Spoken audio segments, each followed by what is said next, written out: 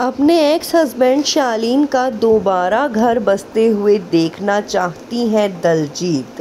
टीना या सुम्बुल किसकी तरफ़ किया है इशारा? क्या खबरें निकलकर सामने आ रही हैं? और किस तरह दिलजीत कौर जो हैं, वो अपने एक्स हस्बैंड शालीन भनोत का दोबारा घर बसते हुए देखना चाहती हैं?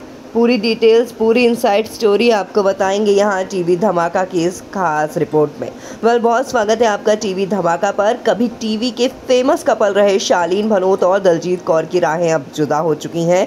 दोनों अक्सर एक दूसरे के लिए बात करते हुए दिखाई देते हैं, एक दूसरे के बारे में बात करते हुए नज़र आते हैं।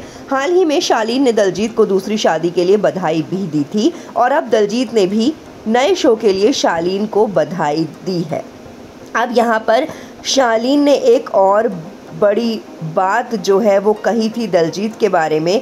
पहले बिग बॉस के घर में जिस पर काफ़ी हंगामा भी हुआ था, लेकिन अब क्या हुआ है, यहाँ पर मैं आपको ये बात बता देती हूँ। हुआ कुछ यूँ है कि शालीन भनोत का घर दोबारा बसते हुए देखना चाहती हैं दलजीत कौर। जी हाँ दलजीत कौर जो खुद शादी के बंधन में बंधने जा रही हैं सोशल मीडिया पर वो पोस्ट शेयर कर रही हैं, जिसमें देखा जा रहा है कि वो जल्दी ही शादी कर रही हैं। एक दो दिन में ही उनकी शादी है। ब्राइड टू बी ऐसा केक वो काट रही हैं इन्जॉय कर रही हैं अपनी बैचलर पार्टी अपनी ब्राइड्समेट के साथ। इसी बीच शालीन भनोत को लेकर दलजीत कौर ने कहा है कि मुझे शालीन से कोई गिला शिकवा नहीं है, वो तरक्की करे, वो अच्छे पड़ाव पर है अपनी ज़िंदगी के, बहुत ही मेहनती एक्टर हैं, बहुत अच्छे इंसान हैं। मुझे लगता है जो वो चाहते थे उन्हें मिल गया है। इसके बाद उन्होंने ये भी कहा कि भाई, मैं ये चाहती हूँ कि शालीन भनोत की ज़िंदगी में भी कोई ना कोई आ जाए।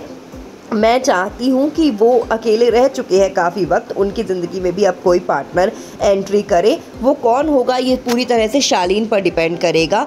अब वो बिग बॉस के घर में जो उनके करीबी थे, उनमें से किसी को पसंद करते हैं, उनके साथ ज़िंदगी बिताएँगे या फिर कोई और ये शालीन का डिसीज़न होगा। यानी कि यहाँ पर दलजीत ने टीना और सुम्बुल की तरफ़ इशारा किया क्योंकि बिग बॉस के घर में शालीन इन्हीं दोनों के करीब रहे थे और टीना से उनके रिश्ते की तो काफ़ी अफवाहें भी उड़ी थी। काफ़ी आगे तक दोनों का रिश्ता चला गया था। था, दोनों ने बातों बातों में एक दूसरे को आई लव यू भी बोल दिया था। वो और बात है कि बिग बॉस ख़त्म होते होते इनका रिश्ता भी ख़त्म हो गया, पर यहाँ पर दलजीत ने इशारा दिया है बड़ा शालीन भनोत की दूसरी शादी के बारे में। शालीन भनोत जो है वो दोबारा से अपना घर बसा ले इस बारे में। देखना होगा कि शालीन क्या सच में अपना घर बसाते हैं या फिर नहीं।